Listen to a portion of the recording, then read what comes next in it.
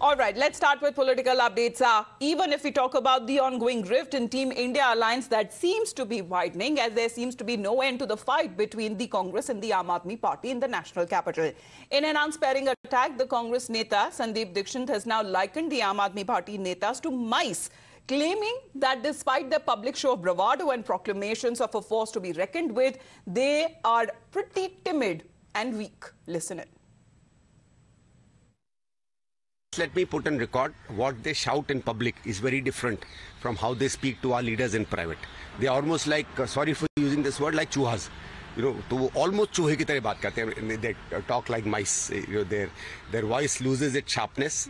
Uh, you know, that's why I said they almost come crawling. So forget that. You know, you know their their public view of being very strong and very powerful all gets destroyed once they come uh, and meet political parties.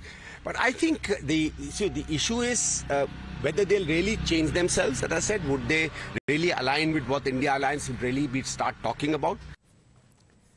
Well, however, this is not the first time that the chinks in opposition armor are openly visible.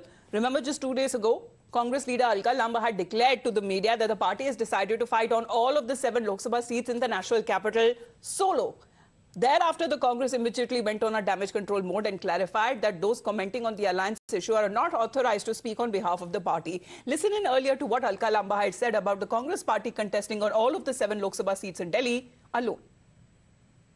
देखिए, ये लगभग तीन घंटे की meeting में पूर्व कांग्रेस अध्यक्ष राहुल गांधी जी खरगे जी के सी वेणुगोपाल जी और दीपक बाबरिया जी रहे। कि लोकसभा 2024 की तैयारियाँ अब हमें करनी है, मकसद वही था और बिल्कुल आदेश हुआ है कि हमें सातों सीटों पर मज़बूत संगठन के साथ हर नेता को आज से अभी से निकलना है। सात महीने, सात सीटें हैं। ये बात हुई कि जिसकी दिल्ली, उसका देश होता है।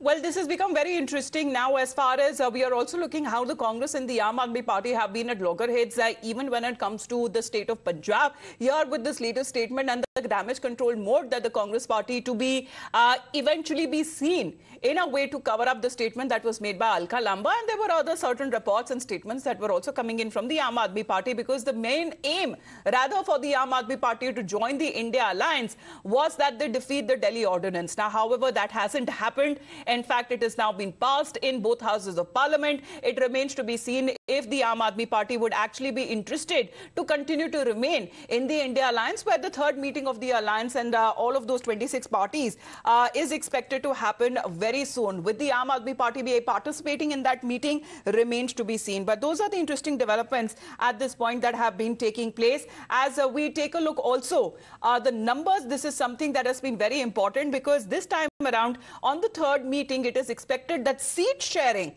amongst all of these parties, which already mostly are regional parties, will be decided with national parties. Now, the parties that may have a united stand on a national platform, but there seems to be no end to the one-upmanship in different regions. For example, if we talk about Delhi itself, the Congress and the Aam Aadmi Party are already locked in a war of words over those seven Lok Sabha seats, which both parties failed to win back in 2019. Remember, all of the seven seats are with the BJP. In Punjab, if we talk about the Congress and the Aam Aadmi Party, again, are the arch rivals. And the Congress has vowed to contest all of those uh, 13 seats independently. In Kerala, if we talk about the Congress and the left are staunch rivals in the state and the parties are not very keen on contesting together in the upcoming 2024 elections, which is a sentiment that the parties have also echoed in the state of Bengal as well, because the very presence of the opposition parties who have been rivals, such as the TMC and the left, can they be under the same roof or on the same page? That remains to be the big question. Akansha, good morning. It seems that the Delhi dangle is uh, widening as far as the Aam Aadmi Party and the Congress Party. Here is a Congress Neta who seems to be likening the AAP Netas to mice. Uh, well, absolutely. It appears that they, there are cracks in the lines of uh, Congress as well as Aam Aadmi Party. Now, this holds importance because this comes just ahead of the India Alliance meeting that is scheduled for August 1st and uh, September, uh, uh, August 31st and September 1st in uh, Mumbai. now, Sandeep Dikshit, the senior Congress leader, yesterday said that Aam Aadmi Party leaders are like mice.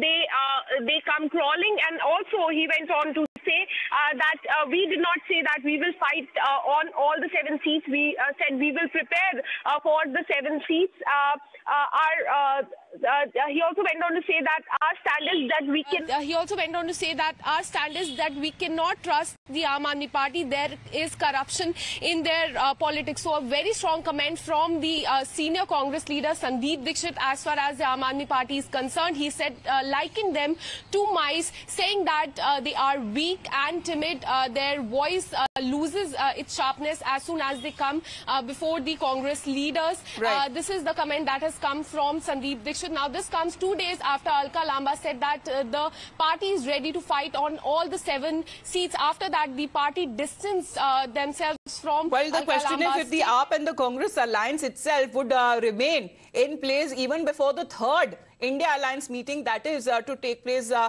uh, in a few days or in a few weeks from now. For the moment, Akansha, thanks very much for joining in. Let's shift our focus